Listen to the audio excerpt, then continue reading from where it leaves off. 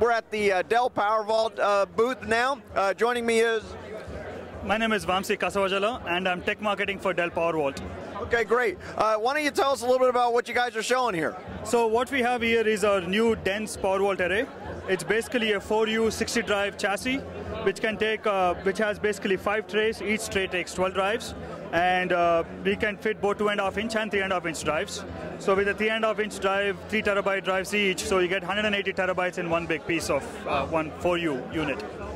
Okay, can you pull one of those out? Do they slide out? Absolutely. So pull this out. So I only have four populated right now, but you have four and four, that's 12 per tray. And uh, the drives are hot replaceable, so you would just pull this out and they come up right there. Oh. And um,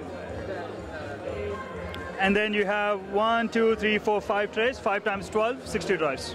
That's awesome. That's great stuff. Well, thanks very much for showing it to us.